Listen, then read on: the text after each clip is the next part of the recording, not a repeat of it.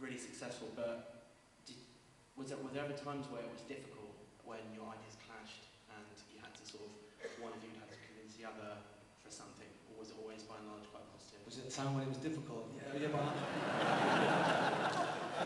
On the songwriting aspect. oh, what, from a songwriting point Yeah, of view? yeah. No, no, never, never, ever.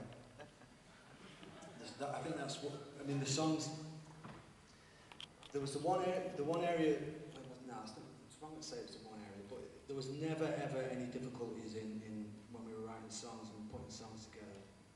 There was never any problems, there was never any issues. That's one of the reasons why we wrote so much. Just keep us, keep ourselves busy, you know. But there was, wasn't really any issues, per, uh, personal issues either. It's very, very simple. It's, you know, people have this idea about that my relationship with Morrissey as being um, fraught. Well, it was it only became fraught when it stopped.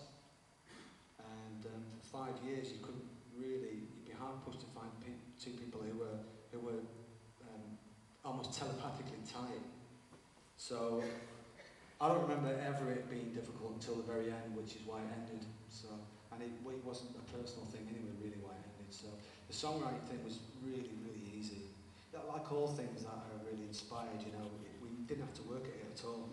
I just came up with what tunes that I wanted to do. He put his vocals on the top. He loved the tunes. I loved the vocals. It's all good. cool, thanks. Does that answer your question? Yeah, it does, totally. Just so one last thing. Um, if um, I can make a quick request, um, I've come from London.